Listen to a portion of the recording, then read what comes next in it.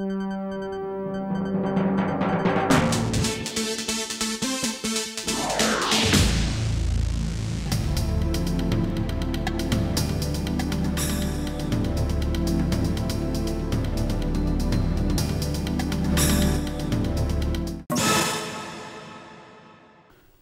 আলাইকুম রহমতুল্লাহ। সুপ্রিয় দর্শক, শুরু হচ্ছে জিজ্ঞাসা। জিজ্ঞাসাতে আমি আছি আপনাদের সাথে পাশা খন্দকার। অনেক অনেক শুভেচ্ছা। দর্শক বরাবরের মতো আমাদের যে অতিথি থাকেন, আমরা কখনো বাংলাদেশ থেকে আগত অতিথি, আবার কখনো এই দেশেরই কোনো একজন অতিথি নিয়ে আপনাদের সম্মুখে হাজির হই। আজকে আমার সাথে যিনি আছেন, তিনি এদেশেরই একজন ব্রিটিশ বাংলাদেশি কমিউনিটির অত্যন্ত ট্যালেন্টেড, আমি বলব হিডেন ট্যালেন্ট। এই ধরনের হিডেন ট্যালেন্টের সংখ্যা আমাদের দেশে অনেক। আমরা তাদেরকে নিয়ে আসব আপনাদের সম্মুখে। আপনাদের সম্মুখে তাদের পরিচিত করব। তাদের দেখে যাতে আমাদের ভবিষ্যৎ প্রজন্ম এ দেশে, আমাদের কমিউনিটিকে অনেক দূর এগিয়ে নিয়ে যেতে পারে। তা আমরা আজকে যার সাথে কথা বলব, তিনি হচ্ছেন আমিনুর রহমান খসরু। তিনি পেশা একজন মেকানিক্যাল ইঞ্জিনিয়ার এবং ম্যাথমেটিশিয়ান তিনি বিশ বছরের মতো এয়ার স্পেস সার্ভিসে আছেন, যার কন্ট্রিবিউশনে অনেক ফেমাস এয়ারশিপের জন্ম হয়েছে এবং লেটেস্ট এয়ারশিপ আজকে যারা আমরা মনে করেন ডিফেন্স লাইনে এফ থার্টি ফাইভ আছে যেটা নতুনভাবে রয়্যাল এয়ারফোর্সে রিসেন্টলি ইনক্লুড হয়েছে ওয়ান অফ দ্য টপ টেকনোলজির ফাইটার জেট তিনি এই ক্রু টিমের একজন সদস্য, যার নেতৃত্বে, যার সহযোগিতায়, যার কোলাবোরেশনে এই এয়ার স্পেসের জন্ম এয়ারশিপের জন্ম সরি তো আসুন আমরা তার সাথে পরিচিত হই, তার থেকে এই বিষয়ে কিছু শুনি। খসরু, আপনাকে অনেক ধন্যবাদ আমার প্রোগ্রামে আসার জন্য। I am very grateful that you are here how are you Uh, fine, thank you. And first of all, thank you very much for having me on the show. Show I don't usually get an opportunity to come on TV or to or to present. that's our so- pleasure. That's our pleasure. You know the channel is the community channel, Yes. and we want community people, Mm. community talent like you to be here. Now, Khosrow, I just wanted to, first of all, I just wanted to know your profession. Uh, what is your profession is? Um, I'm I'm a mechanical by profession. I'm a mechanical engineer in the aerospace industry. I'm my area of mechanical engineering is, is a huge subject, but my area of specialism is in a subject called what we call stress uh, dynamics, stress and dynamics, which basically comes under structural integrity, which basically um, my responsibility is to basically ensure that um, the structural integrity requirements of the aircraft um, are met, such that the aircraft is not is going to survive for the life of the aircraft in, in the in, in the manner in which it is going to be used Is it, is during it service. in general aircraft or only defense or uh, any aircraft? Um, my main area of work has been on military um, fighter jets and helicopters. I have also worked on civil aircraft, namely the Boeing 777. Um, I worked on the flight control system um, for the Boeing 777 and the latest um, passenger jet produced by Bombardier, the C5 series, which is the latest state-of-the-art aircraft. So I, I worked on the flight control system for for, for Bombardier. So, so far I know you are 20 years with this business. yes. Okay, we cannot say we cannot talk about 20 years. okay, latest one I know the world knows about the latest jet fighter Mm. F-35. F-35. Yes. 35, and which is just recently been launched in British uh, Royal Air Force. Yeah, That, that's right. Um, the Royal Air Force has just taken um, own, uh, just ta- taken delivery of the first sort of batch of, of the F-35 um, fighter jet. The F-35 fighter is, can, I, can I just uh, hold you here? yes. I know this is a military secret, many Mm. things. As far as possible, we would like to know about F-35, and then I will I will find out what contribution you go in it. Yeah. Uh, the F-35 is the latest, most advanced fighter jet um, ever to be produced. It's a trillion dollar project headed headed up by Lockheed Martin, which which is one of the uh, which is the largest uh, defense company um, in the world. in the world. Yeah. So, so the whole project is being managed by um, Lockheed Martin, and it's and we and at any one time there's over hundred thousand people uh, working on this. On this Hundred thousand. hundred thousand people at any one time that's working on this project, and I'm I'm I'm, I'm, I'm one of those. Well, you are um, not one of them anyway. Yeah. Go on. Yeah. So it is a stealth. It is a stealth fighter which has capability for vertical and short uh, run takeoff. Vertical takeoff meaning it can take off without a runway or we can Straight. straight. Yeah. So it's it's ideally suited for the aircraft carriers. The most advanced thing about the aircraft was I don't know you know because because there are many you know technical things about the aircraft which I wouldn't be able to talk about. Right. But w- my area of contribution to the aircraft is the design of the, what we call the active inceptor system, uh, which is basically the flight control system. What the pilot is the interface between the pilot and the and the aircraft. What in your case, for example, if you take the car, for example, it's the steering wheel is the interface between the car And the steering. and, and, and the And driver. pilot, driver, So, yeah. so the active inceptor is basically that interface between the pilot and the aircraft. What's unique about the active inceptor system is that, is that it's a fly-by-wire system where there's no, in, in a traditional control system, you would have me- mechanical linkages Okay, that we, link. we, we're not yeah. going to go for this Yeah. technical side. So it's one of the most sophisticated aircraft yes, for yes, the defense service yes, nowadays. Yeah. So where did he build it? In this country? Uh, it, we developed the flight control system in Rochester, where I where I'm where I'm based. In So, Kent, yeah? in, in, in, in, Kent. I mean, the, the, the other feature of that technology is, in theory, the technology is capable of flying multiple aircraft, but with one pilot. So you Multiple aircraft yes, in one pilot? yes, so they can be all linked together. But in the, even in defense, you're talking about? In practice, it probably won't happen, but the technology has the capability for there, for example, to be you can have umpteen number of aircraft, just one pilot, and whatever this pilot does, the, The other aircraft aircraft will will, will, follow. Is it in practice now or is it still in theory? Theoretically, it's possible, but practically, I don't think it will, probably. Okay, anyway. Yeah. So fine, I understand this. Now tell me, uh, I know that uh, you are one of the fellow in Institute of Mechanical uh, uh, Engineering Institutes, Mhm. yeah? And you, so far I know you are one of the youngest one. How old are you in that time?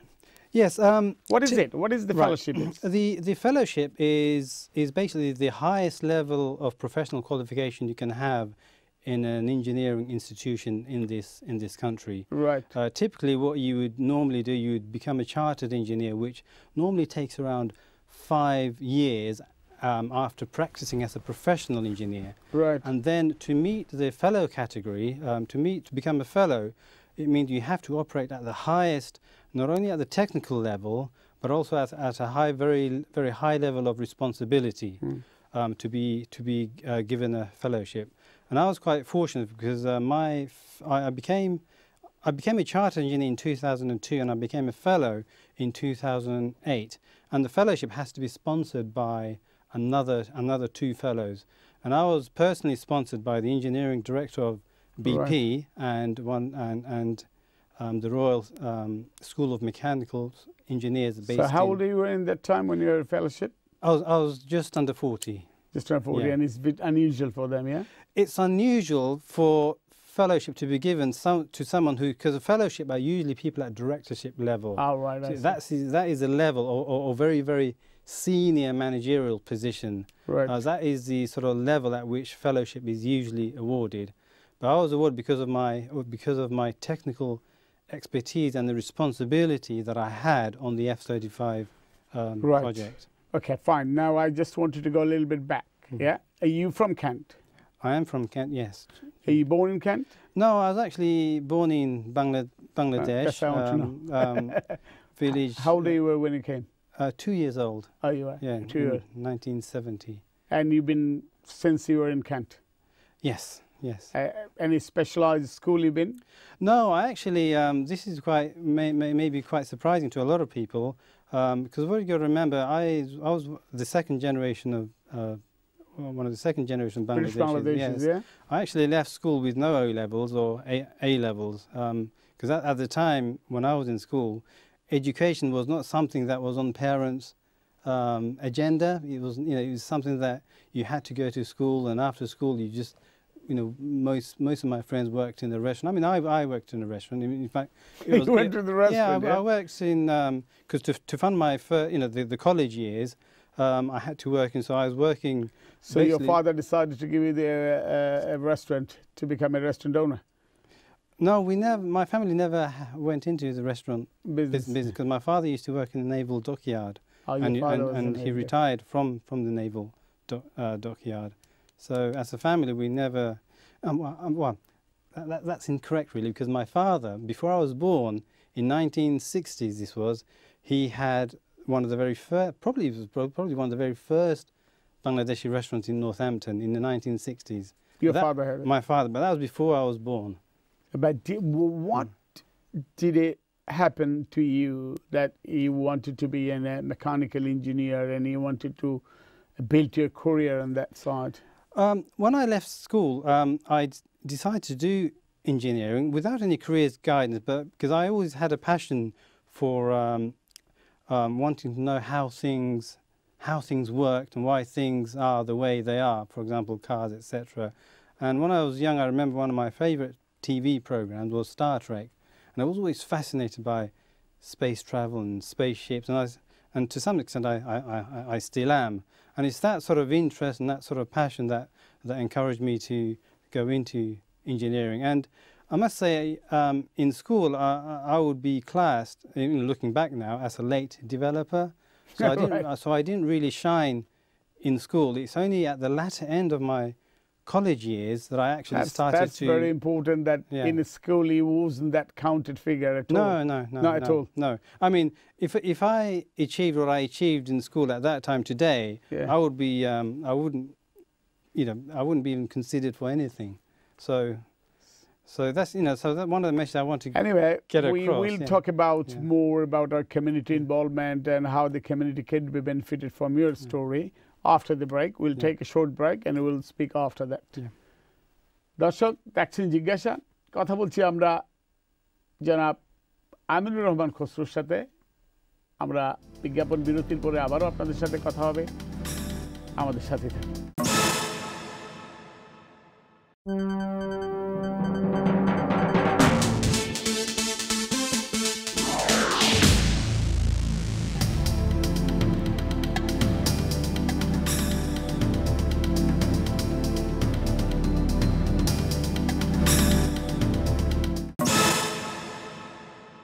বিরতি থেকে ফিরে এসে আবারও শুভেচ্ছা দেখছেন জিজ্ঞাসা কথা বলছি আমরা আমাদের অতিথি জনাব খসরুর সাথে জনাব Khasru I was saying you you are saying that that you wasn't an accountable figure in a school yeah Yes. and your time wasn't O level, A level, or your time target was not that clear, yeah, for you.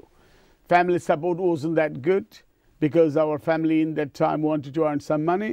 That was obvious for us, business line or the restaurant line, and we are proud to be part of that family. That family has given us a platform to be here. Now, I wanted to know from you that do you think for our our kids, our British Bangladeshi community, about the education system we got here, do you have anything to say about it? Yes, I think the, the there's been a lot of discussions about the education system, and I know Michael Gove, when he was education minister, tried to change, introduce a lot of change. He has made Yeah. so many Yeah. changes. Yes, I, I think the from my own personal ex- experience, I think the problem with the education system that it's become very, very competitive at a very early age, and it's put and it's put and it puts a lot of stress on young children, uh, and I think they're too young to be put under under that level of stress. And not only are the children under stress, but also the parents are under stress. And what I, I see is that children are not given time to, to develop because not everyone has the same um, rate at which they can, they can learn. Some are slow, some develop quite fast. And I think the current system doesn't allow for that. And what the current system tries to do is tries to bring everyone to the same level. We, and- uh, yeah, I understand this Yeah. thing. It's a big, big arena. Mhm. Uh, we want to uh, cannot discuss these things today Yes. because of our time Yeah, limit. But what I want to say that our children, yeah, our kids, yeah, because I know many family members wanted to know what their son to be. Mm. They have no idea because our education level is not that high. What message would you have for them? How they can pick their kids for their future target?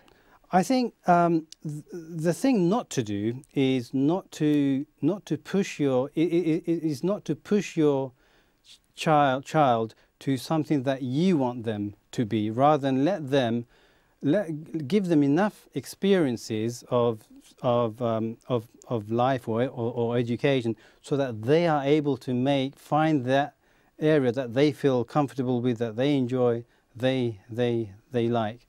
And Now, then you tell me when you decided to be an engineer and we, when you decided uh, to be in a part of the space world. Mhm. Who helped you? Well, no one Because really. no well, one helped you. No one really helped me, but um, But, you, I, you I- must have a support from somewhere. no, because I had I was I was fortunate enough to because I had a father who worked for the uh, um, naval dockyard, Right? so he was a very hands-on person. So I could see a lot of the things that my father did, and that sort of fascin- uh, fascinate, uh, fascinated me. But naturally, I was always um, curious about things. And I think what we need to do to our children is try and build that curiosity in them by exposing them to to activities that will enable to to you know develop that interest or, or that cu- uh, curiosity. Um, Uh, eh, sorry, I was going back to my question Mm. again on the back because you said you have worked or you have done something for the passenger aircraft as well, yeah? yes. What was it? Um, Bombardier C uh, C uh, C series aircraft C5 C5. Is- Well, what oh, uh, is it launched already? That's uh, that's going. That i- it's it's it hasn't. It's just coming into production. Um, so it's just going What's through. the difference? Um, the difference What is the latest technology it's got that uh, for the passenger? It has. It has because so what you have to remember. A lot of the um, aircrafts out there Mm. are, are all based on on airframes that have been designed back in the 60s, back in the 70s. The C5 is a, is is one of the latest. Um, is it Boeing we called or Uh, Bombardier, Bombardier. Bombard- It's, it's made by a ca- Canadian company called uh, Bombardier. So? What's the difference? I just want Um, to know what is the latest technology you got. It's, it's really the it's the control system and the avionics. That's the, that's the difference. It's got the state of the art avionics system, flight control systems. Uh, a lot of the It's the most secured one, or uh, Um, it has a lot more capability, and because one of the things that drives the air, aircraft industry is is the emissions requirement, the pollution requirements. right, right. Yeah, right, so- right. so- Pollution. Yes. Yeah, go on, tell. So, so, so, so, you know, some of the pollution requirements now are, are very, very stringent. So, the idea is to make the aircraft as light as possible. So, a lot of the, a lot of that aircraft has um, composite structures, um, you know, which have been, which have been replaced, with, where traditionally you would have used aluminium or lightweight metallic materials. So, where possible, they, there's a lot of composite material that have been used in the aircraft. What we've done at Rochester is design the flight control computers for that aircraft. It's a system that basically controls the entire. um, so aircraft. your your field is mainly the uh, designing the flight control system, yeah. Yes, yes. And uh, they see bombard, Bombardier C5 series. C5s. Yeah. so you'll be more lighter flights, yeah, hmm and less uh, eco-friendly, Eco-friendly, uh, more fuel efficient. more fuels. Mhm. yeah. In one extent, you said that the Islam, the religion, has played a very significant role in your life, Mm. and especially in your education and in your career as well. Yeah. Yes, yes. What do you mean by that?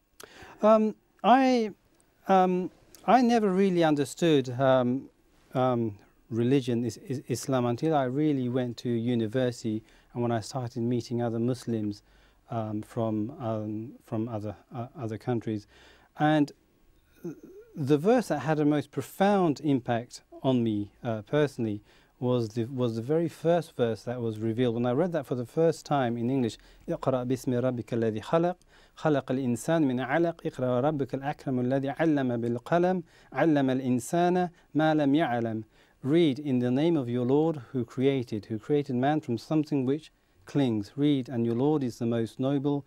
He who taught by the pen taught man that which he knew not. And That's, in- we all believe that. Yes, But what's the difference? but the message in that is, is that Allah is commanding us to read. See, our religion, the, the entire emphasis of our religion is that it calls upon your intellect, your reason, to, to reason, to, you know, time and time and again in the Quran it says, you know, look at the heavens and the earth, how it's going. Look at yourself, look at the animals, look at, you know. yeah, I um, understand this, but know, what kind of impact you got in your education on that or your academic career on that? Because I believe, um, as the Prophet ﷺ said, that Sallallahu alayhi wa if you're going to do anything, do it well. And I'll you do it well. So if you're going to do anything, excel in what you what you do. And you also have to remember that each of us, Allah has given each of us um, different abilities, and we will be accountable for those abilities in terms of how we used those abilities. Um, it's not a case of um, I have all these degrees and now I'm going to go out and convert people to Islam. No, it's a case of that I am a Muslim and you have to show that you know show your um, your integrity, um, your honesty, and that and, and, and that they that and they again, see. you were you were you were playing with this space world, innit? Yes. So this is something that we have to believe how we are doing it. Yeah. Yes, yes. So when they see me, when they see, you know, the fact that I'm, I've been awarded a fellowship of two institutions, then you know I don't hide the fact. I'm not ashamed, and I don't hide the fact that I am a Muslim. So what they see is that they see not only Khosrow, but they also see a Muslim, and that in itself will give a certain message to them that you know this is a Muslim, and look what he has achieved, and look what he is doing for the prosperity of this country or this or- organization. Hmm. So in your life, uh, in your uh, I mean academic or career life, the math is played a big role in it. Yes. So you are a mathematician as well, innit? Yes, I, I- did my PhD in mathematics. In math, it was all engineering, but it was purely uh, based around mathematical modeling. Right. So, because my area of specialty is in vibration analysis, which is a very mathematical-based um, discipline where you're using a lot of complex mathematical techniques to solve engineering, complex engineering um, problems. right. Um, Now, finally, tell me that um, not finally. I mean, like that you are doing some research. Yeah. mhm. Uh, you are making a research paper. What is it for? I'm, I'm writing a research paper with the University of Wales on environmental ethics. Now, this is a really interesting topic and a very relevant topic, and particularly um, for, for, for Bangladesh and Bangladeshis, because we are now living in, in you know, we have a, a, a huge, immense environmental crisis, in, not just in this country, but all throughout the world, and in particular, I would say, in, in, in, in a lot of the developing countries, which includes Bangladesh. Because if you look at some of the environmental issues in Bangladesh, like, um, like many of the major rivers in Bangladesh, and particularly in, in, in, Dhaka, have become so toxic that it's been declared a, a septic, like, um, like all life forms is basically is, is dead. The river is basically dead, and this has been declared by the World, uh, World Health Health Organization. Organization. Yeah. And this is just, and this is purely because of the amount of toxic waste from the leather industries and, and, and raw sewage and other industries that's being directly So dumped. what, what what's impact it's going to have from your research?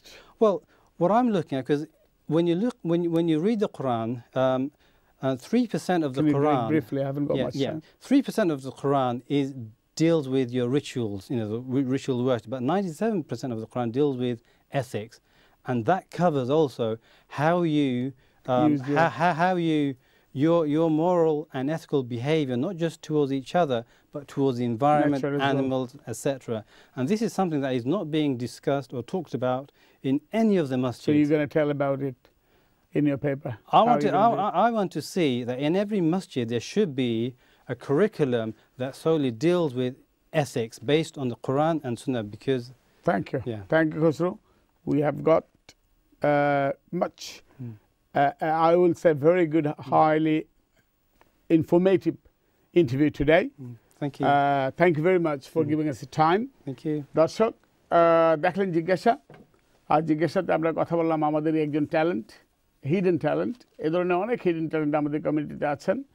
আমরা আমাদের প্রোগ্রামের মাধ্যমে আপনাদের কাছে তাদেরকে পরিচিত করব। তাদেরকে পরিচিত করার দুটো উদ্দেশ্য, একটা হচ্ছে তারা আমাদের গর্বের বিষয়, আমাদের জন্য তারা গর্ব, আমরা তাদের জন্য গর্ববোধ করি। আর আরেকটা বিষয়টা হচ্ছে যেটা ভেরি ইম্পর্টেন্ট সেটা হচ্ছে যে তাদেরকে দেখে, তাদেরকে রোল মডেল মনে করে আমাদের ছেলেরা, আমাদের মেয়েরা এই কমিউনিটিতে এগিয়ে যাবে। আমাদের কমিউনিটি এখানে মাথা উঁচু করে দাঁড়াবে। আপনারা ভালো থাকুন সুস্থ থাকুন। আল্লাহ আপনাদের আল্লাহ হাফিজ।